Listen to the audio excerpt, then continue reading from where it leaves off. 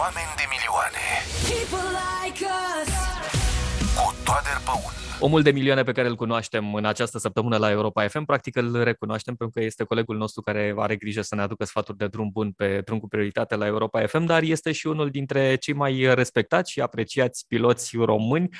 Recent și-a judecat și titlul de campion național în campionatul de raliuri pe, pe asfalt. Bogdan Marișca, bun venit la Europa FM. salut, Edi, salut, ascultători și privitorii Europa FM. Rețin, rețin două idei. Uh, campion național de raliuri și mă bucur de asta, dar parcă mai mă bucur în egală măsură și sintagma de colegul nostru, așa? Mă bucur că suntem în familie și mă bucur că învățăm lucruri utile, pentru că în momentul în care zici uh, pilot de raliuri, te gândești că se conduce periculos, se conduce uh, agresiv și uh, m-am uitat mai ales în zilele astea friguroase și ploioase, sunt foarte mulți care se simt așa pe, pe drumuri. Există o mare diferență, nu? Eu tot am spus-o și poate că deja e perimată povestea. Motorsportul, indiferent de formele lui, și condusul normal nu au aproape nicio legătură. Principial vorbind, ca modul în care folosești fizica. Da? În motorsport nu avem niciun sistem, sau avem foarte puține sisteme de siguranță active. SP, ABS. Sunt niște forme de motorsport pe circuit unde găsești niște forme de ABS, de traction control, dar cam atât. În rest nu avem nimic. Deci noi folosim mașina altfel decât se folosește în mod normal în viața zi cu zi.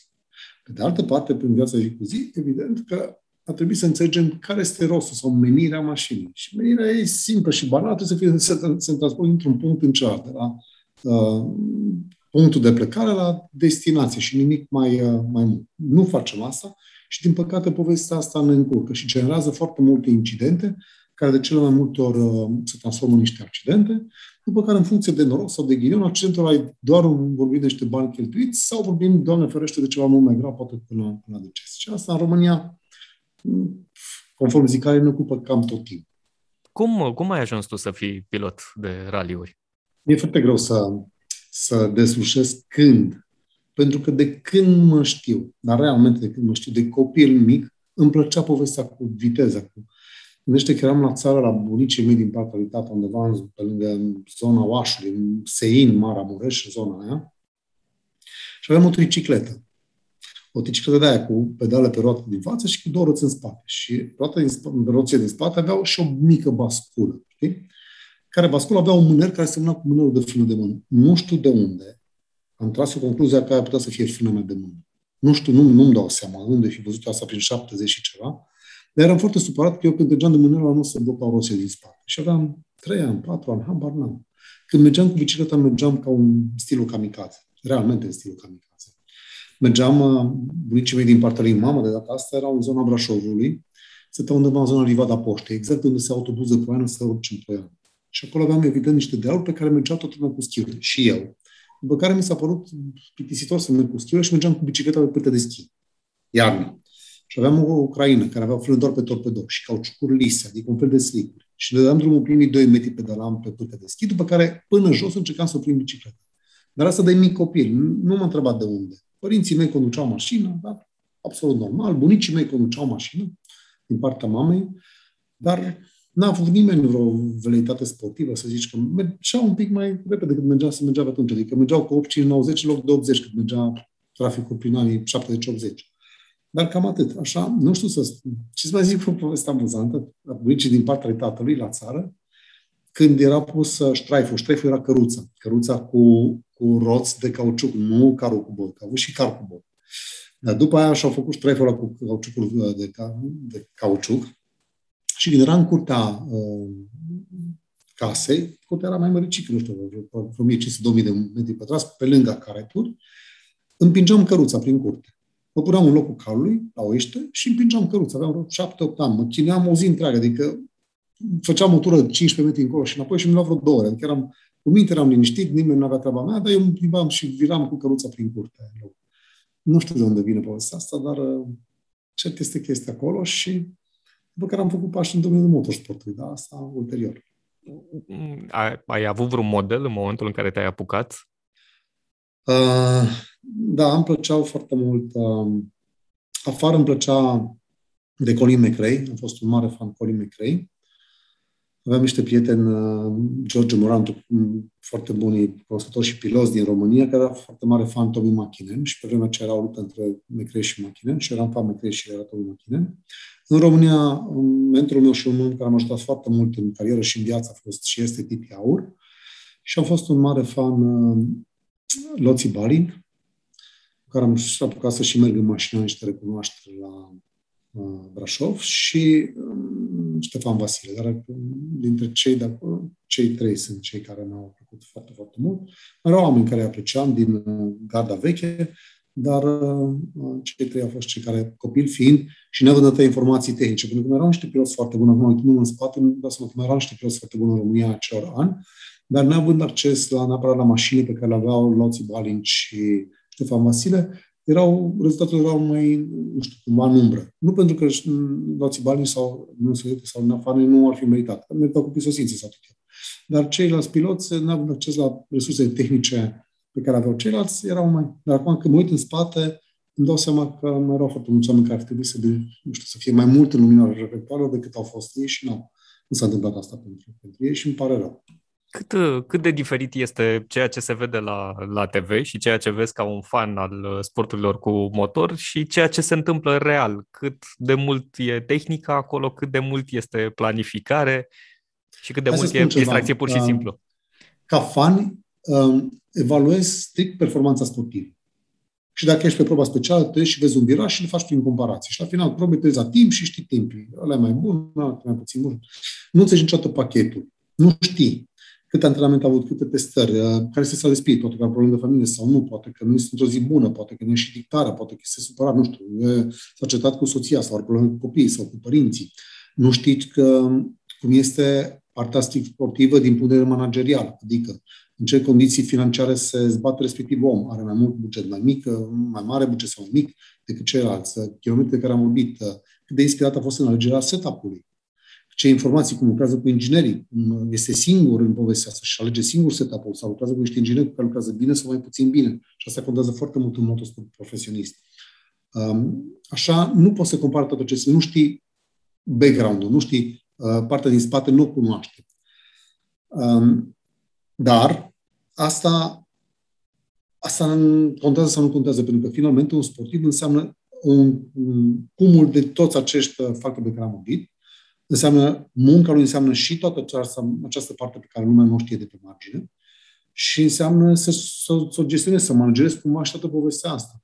Adică un pilon nu înseamnă doar un viraj făcut în viteză, ci înseamnă tot acest cumul de, de atitudine celor din jurul tău, de nevoi pe care tu trebuie să ți le, să ți le rezolvi, Um, știi, ferește-mă, Doamne, de, de vise, că după aia trebuie să lupt pentru cam așa este și povestea asta. Și um, de aceea piloții, până să ajungi pilot profesionist, cu un manager, cu echipe profesioniste, cu care sunt, sunt destul de puține, adică la nivel național, în toate, nu vorbim de România, în general, la nivel național în Europa, să zicem civilizată, sunt prea puțini astfel de piloți. Adică sunt prea puțini cei care vin să urcă într-o mașină și au start pentru că e o echipă care le gestionează și care îi contactează și contractează ca pilot. Da? Sunt prea puțini. Astfel, marea majoritate a piloților cumva trebuie să facă și tot ceea ce am spus eu. Să fie și parte din management, dacă nu total, măcar mm, la nivel de supervizare uh, trebuie să facă asta, pentru că altfel nu, nu ți se poveste. Și până la urmă tu ești uh, uh, cel care are rezultatul sportiv sau nu are rezultatul sportiv. Și atunci trebuie cumva să supervizezi toate aceste lucruri și trebuie să, ți le, să le înțelegi și să găsești pârghii pentru a le accesa. În primul rând, resursele financiare, bugetul, adică banii, partenerii um, pe care trebuie să, să ajungi să convingi că acel proiect pe care tu l-ai este un proiect bun din punct de vedere sportiv și ca imagine, pentru că, de regulă, un euro cheltuit de un partener într-un astfel de proiect ar trebui să se întoarcă între un, să se întoarcă măcar 3 euro înapoi dacă e un proiect mediu și undeva până la 7, poate chiar 10 euro dacă e un proiect foarte bun ca imagine. Adică 1 la 7, 1 la 10 bani um, pe iniție înapoi, um, ghime de rigoare, de către partener în imagine și în beneficii de, de, de imagine și de asocieri pozitive și așa. Și asta nu este ușor. Um, motorsportul este un sport tehnico-aplicativ, adică contează foarte mult și material de concurs. Um, și aici material de concurs înseamnă materialul efectiv și felul în care îl folosești. Și aici iar înseamnă ceea ce vorbeam de inginer, de know-how, de echipă tehnică, de informații, de kilometri parcurși în esență cu mașina respectivă. Pentru că trebuie știut un lucru în funcție de pilot. Totul se, se gravitează în jurul pilotului. În funcție de pilot, mașina respectivă poate să aibă un setup sau un setup complet diferit. Adică, de exemplu, când mergea Juha Cancun și Carlos Sainz la echipa Ford, erau piloți oficiali, timpii de probe special erau comparabili și se băteau unul cu celălalt, dar setup-ul erau total diferite. Dar total înseamnă total diferit, adică principial vorbind, mașinile făceau cu totul altceva, mașinile lui Cancun cu mașinile lui Sainz. Pentru că fiecare își seta mașina așa cum simțea el că are nevoie. Și asta venim la latura ființei umane, la așteptările tale, la filozofia ta sportivă. Trebuie știut că în motorsport um, contează foarte mult caracterul, inteligența, pentru că ai foarte multe momente când nu au pus să raționezi. Sunt atât de multe informații pe care tu trebuie să le gestionezi în fracțiuni de secundă, adică nu știu, ai 3, 5, 7, 10 informații pe secundă pe care trebuie să le gestionezi și atunci nu mai poți raționa doar ține cumva în echilibrul uh, tău interior să ține echilibrul tău interior să funcționeze corect. Dar vine partea cu adrenalina, partea cu caracterul, cu temerile, cu fricile pe care le ai cu provocările sportive, cu ego-ul, e un mix și un amalgam de trăiri pe care trebuie să le gestionezi fracțiune secundă cu fracțiune secundă. Și toată povestea asta trebuie să o transfer către mașină și mașina trebuie să facă ceea ce te aștepți tu. Mașina este un... Imaginați-vă că te lupți cu, cu un monstru, mai mic sau mai mare, pe care luptă, dacă o accepti față în față, o pierzi.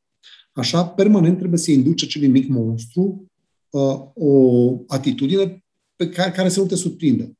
Și doza de variație pe care trebuie să o, să o aibă, trebuie tu să o cuprinzi la nivel de imaginație. Adică nu ar trebui să te surprinde cu nimic. Nu știu, 90% din ceea ce va face mașina, eu trebuie să anticipez, să știu că va face asta. Și doar 5-7 până în 10% maxim să reușesc să fiu doar reactiv. Pentru că am dat, oricât de reactiv va fi nu suficient de rapid. Și monstrul respectiv mă va, uh, mă va pune la pământ într-un fel sau altul. Cam așa este povestea cu mașina și în viața reală. Noi toți spunem asta în cursul safety driving. Mașina este o poveste extrem de utilă, este un, o unealtă a omului în măsura în care o folosim ca atare și înțelegem riscul la care ne expunem când mașina din nevoie de utilitate pleacă în zona de risc. Acea mașină pe care am cheltuit o grămadă de bani, am muncit o viață întreagă între noi să ne cumpărăm mașina visuală noastră, într-o fracțiune de secundă poate să devină numai cunoscut public numărul 1. Și și în motorsport. Doar că motorsport îți asumă acel challenge, ești un fel de, de um, raportat la un, pilot, la un șofer normal, ești un om mai bine pregătit, ai antrenamentele aferente, faci niște kilometri, e probă specială, faci niște kilometri de antrenament dacă îți permiți asta. Deci cumva îți asumi, îți asumi acea luptă voluntară. În viața zi cu zi nu e așa. Noi nu trebuie să, nu trebuie să ajungem în viața zi cu zi să ne luptăm cu mașini. În momentul în care ne asumăm aceste lupte, chiar dacă câștigăm pe prima, pe a doua, pe a treia, a șaptea sau a zecea va câștiga mașina și în momentul acela lucrurile s-ar putea să stea foarte nasol.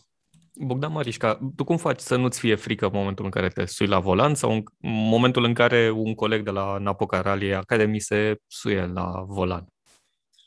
Uh, am emoții, pentru că când vorbim de motorsport, în viața reală nu am emoții, adică, mă rog, sunt un conducător atent, înțeleg traficul și înțeleg zone de risc pe care acesta ți le rezervă aproape permanent. Deci sunt conștient, în traficul din România, mai mult decât oriunde lumea asta, sau, mă rog, decât în Europa asta, nu poți să fii relaxat. Pentru că în orice moment poate să apară o zonă de risc. Așa, sunt atent, dar uh, nu pot să-i mi teamă. Potrivă, îmi place să conduc mașini. De-aia am și ajuns pilot. Când sunt la volan, în fiecare start de probă specială, și am terminat sezonul 28, deci de 28 de ani fac asta, și sunt niște, deja niște, cumva niște clișee. În primul rând că în fiecare noiembrie nu știm ce facem anul viitor. Adică în fiecare noiembrie, în primul an, al doilea, al șaptelea, al 14 an, 21 an, nu știm dacă nu vom lua asta anul viitor startul sau nu, pentru că depinde de celor parteneriate pe care le avem cu partenerii noștri și mai Asta este prima chestie. Și a doua chestie, la fiecare stat de probă specială am aproape aceeași emoții ca la primul stat. După sute, nu, după mii, ca să nu zic spre zeci de mii, dar mii de starturi cu siguranță probe speciale, am aceleași emoții. Nu știu de ce, Poate că suntem conștienți că e zi, mergi într-o zonă de, de risc, adică mergi pe o muchie de ceva. Caz în partea bună e ok, nu caz în partea bună nu este ok. Și riscurile se pot uh, transforma în niște riscuri financiare sau pot să fie mai rău. Din păcate am văzut și exemplul acesta cu colegii noștri care, din păcate, nu mai este printre noi, vorba de a de răscumpăr. Uh, așa, ești conștient că totuși practici un sport de risc. Partea rațională a uh, Institutului de Conservare, dacă vrei, știe și are aceeași trăire. După care, în momentul în care este de proba specială, lucrurile se schimbă. Dar până se, se miști mașinile pe loc, acele două, trei minute înainte de start, când ești în pe start, uh, generează niște emoții mm, aproape văzute din afară. Când e vorba de colegii mei, pentru că știu ceea ce poate să întâmple, pentru că știu care este miza pentru că îi cunosc, am, poate nu emoții la fel de mari ca atunci când iau startul, dar am, am emoții. Și știu că până la ultimul moment de probă specială, ultimei probe speciale ale unui concurs, se pot întâmpla cam orice. Așa, am emoții. Cum sărbătorești o victorie? Nu prea o sărbătoresc. Beau o bere cu colegii sau... Dar intru în faza de decompensare. Cumva a acelui uh, moment în care simți că ți-ai atins, că ai atins un, o bornă din ceea ce ți-ai propus și e plăcut. Numai că sunt mai puține momente de genul ăsta decât celelalte în care nu ți lucrurile. Că dacă am fi doar unul campion, ceilalți ce sens ar avea să meargă, așa? Sunt mai multe momente când nu ți lucrurile și trebuie să te gândești de ce, cum, unde ai greșit, cine a greșit, uh, de ce s-a întâmplat asta și pentru a încerca să nu se repete greșeala. Că nu avem atâtea resurse să mergem uh, orbește în general vorbim, nu doar în motorsport, să ne asumăm tot felul de greșeli după care vedem cum le reparăm. Și e foarte bine să fim niște înțelepți care nu cad în uh, capcane, în uh, păcatul greșelii, dacă vreți. Când uh, te sui la volan în afara unui circuit, cât de greu e să te decuplezi de la regulile care sunt folosite pe un traseu de concurs față de ceea ce se întâmplă pe șosea în mod obișnuit? Nu, nu mi-e greu deloc. Mă simt confortabil când merg cu mașina mm, așa mm, în traficul normal, pentru că um, nu, nu, trebuie să, nu trebuie să am abordarea pe care am în motorsport. Și tocmai pentru că sunt conștient că nu pot să am abordarea în traficul normal, cea pe care am în motorsport, merg mai liniștit decât alții. Pentru că a merge în race mode, în traficul de zi cu zi, presupune că îți asumi niște riscuri foarte mari, permanent. Iar doza de variație a traficului, culmea, paradoxal, motorsportul este mai sigur decât viața reală. În primul raliul, de exemplu. N-ai doza de variație dată de toți cei din jurul tău în traficul normal. Nu mașină pe contrasens, nu biciclist, nu pieton, nu căruță, nu depășire, nu nimic de tot acesta. Drumurile sunt închise circulație publice, sunt securizate cu poliție, cu jandarmerie, cu oameni de ordine, deci nu e nimic din toate acestea. Pe de o parte și pe de altă parte, mașinile de motor pot să mai bine pregătite pentru un caz de impact. Și din punct de vedere dinamic felul în care reacționează la comenzile șoferului, pilotului. Da? În viața de zi cu zi, pentru că sunt conștient de toate aceste um, diferențe de dinamică între, și de percepție între motorsport și viața reală, nu mi-asum mersul uh, ca în motorsport. Pentru că îmi dau seama că este foarte complicat. Gândiți-vă că un pilot de raliu, un pilot de Formula 1 slăbește niște kilograme pe cursă, pe weekend. Nu le slăbește pentru că își cară mașina în curse în spate, ci pentru din cauza consumului nervos gradul de concentrare este atât de mare, încât creierul se știe că e un consumator mare de resurse ale copilului. Așa, așa slăbim. Dar nu poți să mergi în felul acesta în viața de zi cu zi. Pentru că nu ai cum să îți asumi acest, acest ritm și dacă îți asumi acest ritm, înseamnă că îți asumi și foarte multe riscuri, ceea ce înseamnă că ești inconștient și nu este în regulă. Așa?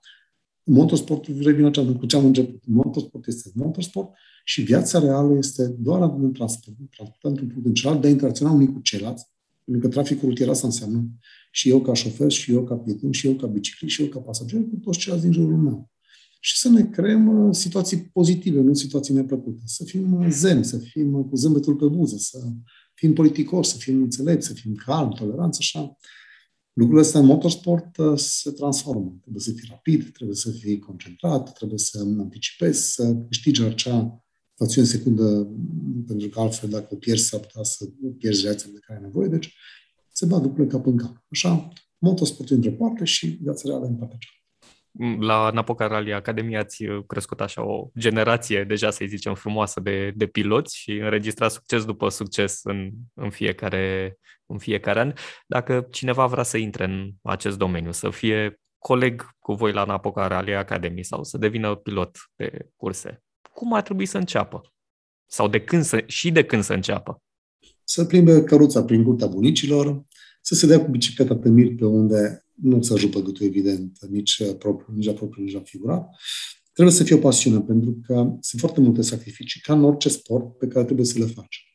Dar mai mult decât în alte sporturi, pentru că este un sport extrem de costisitor, aici balanța financiară este extrem de importantă și este foarte greu de gestionat. Trebuie știut că mașinile pe care noi le conducem în România, în campionatul național de raliu, primele mașini, sunt la fel de performante ca orice mașină din orice campionat bun din Europa. Adică mașina pe care merg este mașina adusă din Italia, este încheiată din Italia, este la fel de performantă ca cele care funcționează în campionatul Italiei, Germaniei, Franței, Finlandei și așa mai departe. Și costul este pe măsură. De aici și, dacă vreți, handicapul celor care, sau celor care nu putem să facem prea mulți kilometri de probă specială de teste, de antrenament, pentru că pe mașină nu interesează. Mașina are același cost că o folosesc în competiție sau la antrenamentele aferente acestea. Și nu este mic. Trebuie știut că primele mașini din România, bugetul lor pentru o etapă, mai mult, depinde câte etape de campionat național sunt, dar să zicem 6-8 etape de raliu, înseamnă undeva un buget spre 150.000 de euro. Uh, fără antrenamente, fără nimic din cheltuielile care poate să apară. Ai lovit mașina, aici vorbim deja de cheltuieli suplimentare. Sunt mașini care, sau sunt uh, echipe care închiriază mașina cu uh, asigurare, dar asigurarea un cost, are un cost destul de mare pe, pe raliu, poate să fie de 5.000 de euro pe, pe competiție, poate să fie numai asigurarea. Și asigurarea respectivă funcționează cu o franșiză, adică primii X bani 15-20 de mii de euro îi plătești tu. După care ea asigură doar restul, de 20 de mii de euro în sus. Pentru că și pentru firma de asigurări sunt niște algoritmi pe care sunt niște profesioniști, adică nu faci tu afaceri pe banii lor. Cumva ei fac pe banii tăi, așa. Ei, toate aceste costuri trebuie să le, să le să ți le asumi, să le stăpânești și să le gestionezi cum poți. Și înseamnă mulți bani, dar înseamnă la fel de mulți bani și în România și în Germania, cum spuneam, sau în Franța sau în Italia, așa. Nu este simplu. Pe de altă parte, nu te obligă nimeni să fie acolo. Începutul, dacă vreți, în motorsportul din România, din punctul meu de vedere, trebuie să fie slalom paralel, rallycross, uh, poate karting înainte, dacă vorbim de, de raliuri sau... Um, și undeva la, la 18 ani, cred că prima și cea mai bună opțiune ar trebui să fie Dacia Logan, Dacia Sandero. Este o cupă monomarcă, unde sunt cam toate mașinile la fel și atunci se face diferența mâna pilotului. Este o mașină relativ accesibilă. Undeva, cred că șapte-opt etape, cât este un campionat național de raliu în acest moment, cu o astfel de mașină ar trebui să meargă undeva spre 30.000 de euro. Adică cam de 5 ori mai puțin decât mașini performante. Dacă asta că nu poți să-ți cumperi tu mașina, să ai o dubă de asistență, să ai niște mecanici care vor să ajute, niște prieteni, uh, și atunci poți să fii un pic mai, uh, un pic mai ieftin, nu mult mai ieftin. Ai nevoie oricum de cazare, ai nevoie de înscriere, ai nevoie de benzină, de plasare la competiție, cauciucurile. Dar cam astea sunt uh, repere. Să zicem undeva 25-30 de mii de euro pentru un minim și 150-170 de mii de euro pentru o mașină care se bat pentru primele locuri în campionat. Cam asta este plaja în campionatul național de raliu al României, un număr de 7-8 etape de, de raliu. Nu e ușor, pentru că oricum mai luau antrenamentul, motorsport înseamnă, motorsport înseamnă kilometri parcurși cu mașină cu mașina respectivă. După care vine eterna provocare. Dacă mai am 3 lei și fac nu știu ce la mașină, mai câștig câteva secunde pe o probă specială. Și intri într-o sarabadă asta a nevoilor sportive, care seamănă cu cea a celor care au ce formă, o formă de, de, de, de patimă, dacă vreți. Mergi și, nu știu, ești jocuri de noroc cheltuiești niște bani, sper să ți recuperezi, sau dacă ai câștigat, sper să investești, da? Îți place, habar n-am, uh, tuning-ul la auto. E aceeași poveste. Începi să cheltuiești în mașină în ce în ce mai mult, pentru că îți place și fac. E, așa e și în motorsport. Îți dorești, simți că ești bun sau crezi că poți să performezi și mai ai nevoie de ceva la mașină ca să te facă mai rapid și după care ai nevoie de altceva ca să te facă și mai rapid.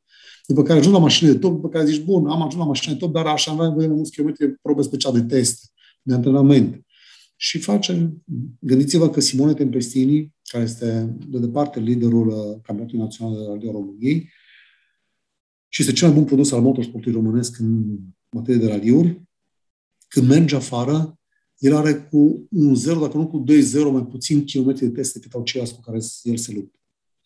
Și atunci, adică el face niște zeci de kilometri de teste în fiecare raliu, în condiții în care sunt oameni care fac sute, dacă nu mii de kilometri Țin minte că acum câțiva ani avem la Raliu Sibiu, care etapă de campionat european pe vremea aceea, un pilot oficial uh, pe joc pe vremea aceea, era vorba de Brian Murphy și am stat cu el, aveam un meci de fotbal între piloți și așa. Și am stat de povești cu el și îmi spusese că pentru dezvoltarea mașinii făcuse 25.000 de km de teste cu mașina respectivă.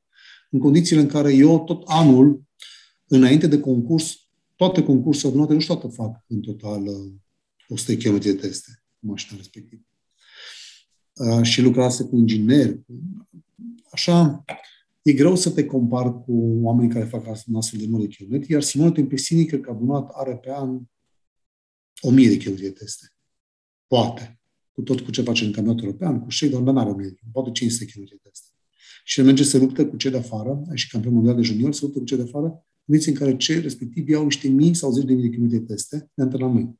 Și atunci, evident că îți dorești ca lupta să fie fair, când te întâlnești în ring cu ei, cu ghilimele de rigoare, să ai aceleași arme sau aceeași posibilitate. Și, și asta se traduce în bani pe care obții de la partener, dar pentru că trebuie să livrezi performanță și trebuie să livrezi, să livrezi uh, caracter și atitudine și uh, calități umane și adică e un, un mix din toate acestea și să găsești partenerul potrivit care are nevoie de ceea ce poți să-i dai în momentul potrivit. Bogdan Marișca, îți mulțumesc pentru că ești omul nostru de milioane la Europa FM. Eu mulțumesc că fac parte în accepțiunea voastră din categoria oamenilor de milioane.